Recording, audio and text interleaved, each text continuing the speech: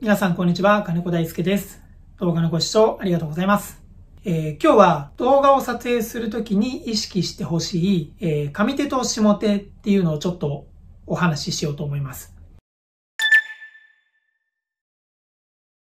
えー、誰かと対談する動画を撮影したいなっていう時に、自分は、こう、右と左、どっちに座るのがいいのかなっていうので迷ったりしたことはないでしょうか？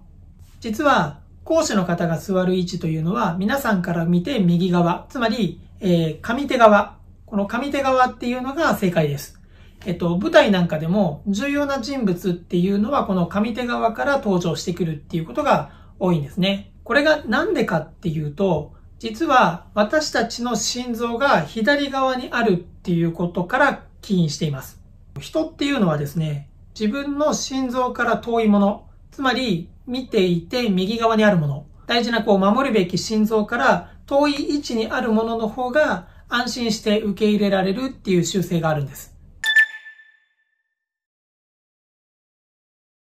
こう動画で大事なのって、やっぱりこう見る人がどう感じるかだと思うので、座り位置によって、なんとなく話している内容が、こう、安心できない、信頼性に欠けるみたいな印象を与えてしまったらすごくもったいないと思います。もし、こう、対談動画を撮影する場合なんかは、講師の方には右側にいて、えー、偉大な存在であるとか、こう、安心できる存在っていうふうに感じてもらうようにする。えー、インタビュー動画などでも、えー、右側、つまり上手で話してもらうっていうのが、失敗しない一つの法則なのかなと思います。え、動画を最後までご覧いただきありがとうございました。金子大輔でした。